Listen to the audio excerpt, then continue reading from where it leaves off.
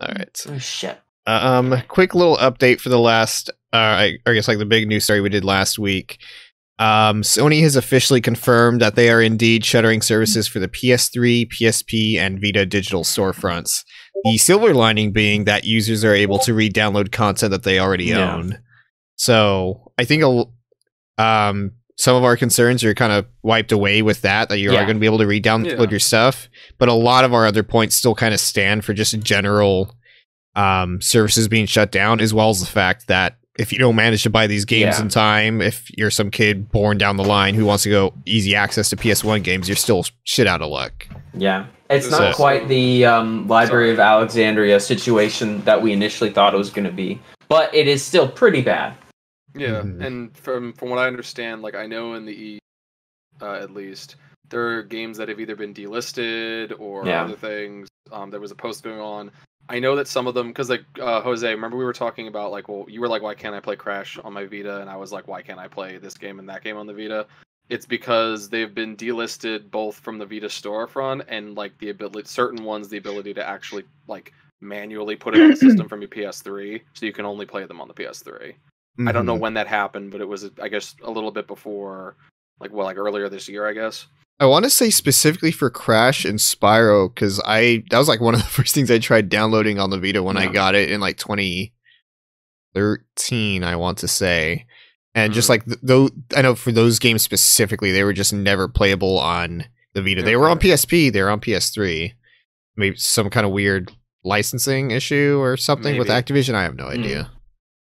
Idea. But uh, um, I, th- I think it was uh, Darkwing Dad over in the SDGC Discord. They had mentioned like, well, I guess I got to go um go hurry up and buy the rest of the stuff I want before this thing happens. And It um, sucks. was it June or July? I think it was July. I'd have to July is the double-check that. PS3 and PSP stores, and then August Mhm. 27th is the Vita storefront. Okay. I don't know if that also means that like PSP classics available and PS1 classics available on the Vita storefront are already going to be gone or not. I'm gonna.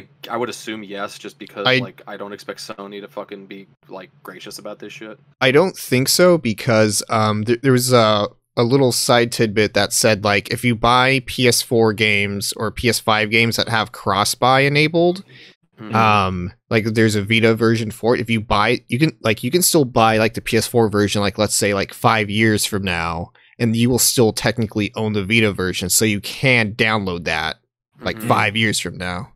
So I don't imagine Just that that would be an issue. or whatever. Yeah. But um I, I, don't think there's many PS3 games I missed. Like maybe I'll I'll try to get the uh, Siren Blood Curse games. Yeah, But I think I- pretty good. I think I'm mostly going to go like on a PS1 buying spree. Like get the classic Resident Evils I don't have, get Dino Yeah. Crisis, uh Parasite Eve, stuff like that. Yeah, and I mean, f- for for people that don't have them already, there's so many games that are like locked to PS3 and Vita that like Mhm. it, once the store goes down, you're not gonna be able to get it anymore. You're not gonna be able to get any version of Persona 3 anymore. Yeah. Mhm. Uh, I- Direct Guard 3, all those DLCs you won't be able to get. Uh, the Japanese language pack that I think fixes that game and makes it a Oh. bit more bearable, you won't be able to get anymore. Fuck! I have to buy the DLCs for Drakengard. 3. Yep. So do I. Sucks. Uh, I I forgot. mean, hell, lots of PS1 games that are on there. Mm-hmm. If you each had a Demon maybe pick Souls. You have to track down a physical copy of that. I brought this And up last week, but Sylvia wasn't here, so I'm just gonna say it again because you mentioned Persona. Like the PSP version of Persona 2, like the definitive version, from what I understand, Mm-hmm. the one that costs like hundreds of dollars in the wild, or at least eighty something dollars or whatever, a lot of money. That's gonna be gone, and that's like 19.99 on the storefront.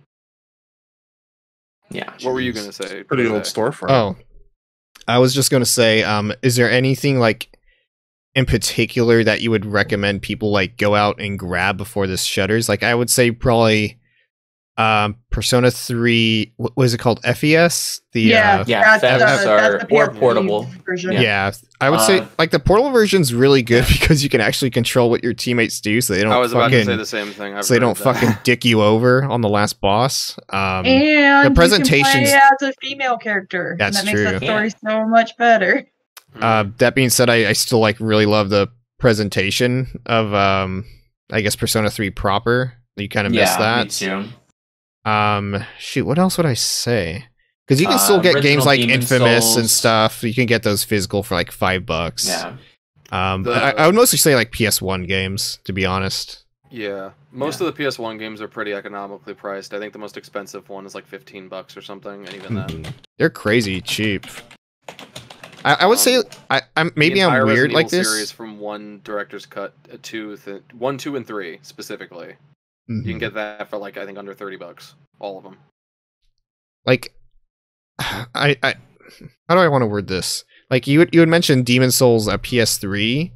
Yeah. I would like I would say there's cer- I'm not it isn't even necessarily for Demon Souls, but I would say like if there's like a remake or like a or just even just like um a remaster that like effectively replaces it, I would say unless you really like preserving stuff, you might be good off of that. Mhm.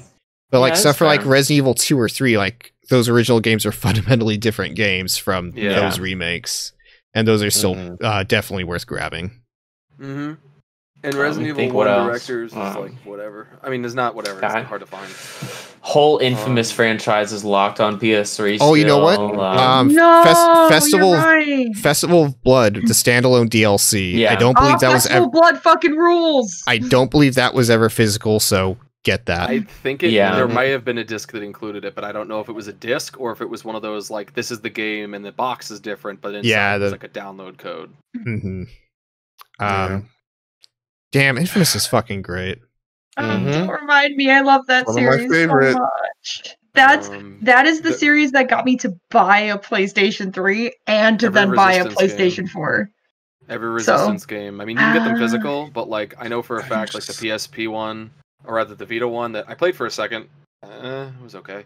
Um, the Killzone Liberation on PSP, I, that's like I remember playing that in high school and realizing like, oh my god, it's like a tactical shooter, but Killzone. It was fucking cool as hell. Oh, um Blaine for you, I would recommend uh the best Killzone game is actually Killzone Mercenaries. That's on Vita. I would recommend you pick that up. Okay. That one, and wasn't there a Resistance game on Vita too? yeah, I, I just mentioned it. It's it's Burning Oh, yeah, that Skies. one's- It was a little weird in the beginning. I Was it Resistance Retribution? Um, Yeah.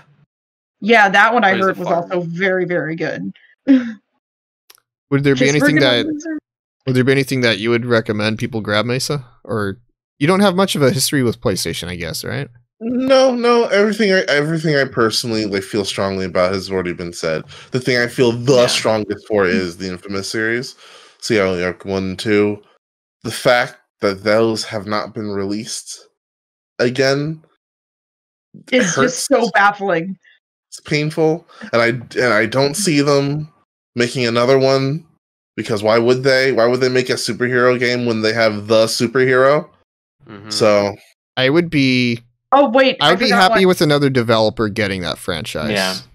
uh uh Parasite Eve one and two. mm, Yeah. People who haven't Yeah, picked yeah, that up, please pick out Um, Parasite Eve one and I want two. to say 3D Mhm. Dot Game Hero has. I was a, just um, about to mention that. I wasn't yeah, sure if 3D that Game that has a digital version. I think if you're into Disgaea, I don't really like Disgaea that much. If you're into Disgaea, I want to say three and four don't have physical versions on Vita. Mhm. Um, those might be worth picking up. Again, Dr- Drakengard three and its DLCs. Um, trying to think of anything else. Yeah, Persona, all the Persona two and Persona three, whichever version you decide to get. The I haven't played it, but I know the Suikoden series, uh, one, two, three, and I think four are all on PS3 across Yeah. the PS1 and PS2 classics. And I think whatever ones are on PS1, I think you can play you can play on the Vita. Um, uh, there you can get physical versions of it for not too expensive, but uh, Fi- uh, Final Fantasy Tactics: War of the Lions. Oh yeah, War of the Lions is uh, really good on Vita. Does Yeah. anyone remember PlayStation Minis where those were like vi- those were exclusively digital only games? Those are all going to go away. Yeah. Someone we That think knew, sucks. someone we know had one of those and was really mad because they didn't make Crisis Core a digital game. They only sold it physical. Yep. Mhm. only sold it physical. Even if they sold it digital, the rights would eventually have- have expired. They wouldn't. They would have taken it down from the store. Mm-hmm. So that game is only accessible by piracy. Which I mean, hey, my other thing, damn, them shutting the store down sure is not doing a great job discouraging just uh, home brewing your PS3 and Vita.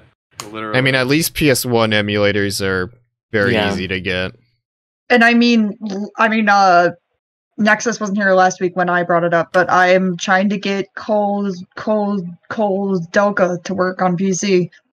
Just copies of that game Yeah. at 599 fucking dollars, and Sony just never released that game on the PlayStation Store. Oh, if you So- have access to the Japanese PSN for PS3, apparently LSD Dream Emulator is available. To Oh yeah, Yes. Oh, that's a good one. You know what? It's fu- it's dab time because uh, Oh, Rama Nomad points out that uh, the Vita is indeed the best platform to play Danganronpa. It's best platform to play a lot Also, of things. also yeah, you another can play thing it alone about without anybody seeing you. Exactly. another thing shit. That's a good about point. another thing about LS LSD Dream is that you don't need to know Japanese to actually play it. No, you There's like little to no Japanese in it, so There's the only elements that you will- will be lost on you is um because my boyfriend has played it for me a lot. I come watching, it. and we like he'll ask me like tell me what to do and we play it together. Um, literally like there's some dreams that are just a screen of text and for he looked it up once. It's like those are apparently like recorded recorded messages like based on actual dreams that the creator Mhm. had. So Yeah. that is that does suck. You lose out on that, but that's literally the only thing that you miss out on. Everything else you still can experience because it's all just surreal dream Yeah. shit. Uh, and then um, as far as like the F- the Final Fantasy games, like there are ports onto other consoles and stuff. There's Steam versions and you know all that. But the PS3 version that you get digitally is going to be like a near perfect emulation of the PS1 version. And Yep. Final for 7, 8, and 9, the PS3 version is still the prettiest looking versions of those games. It's as Yeah. good as playing it on a PS1. You can, for what it's worth, you Square does still sell physical versions of seven, eight, and nine, and also uh, the four, the four and Chrono Trigger pack, the anthology pack with five and six.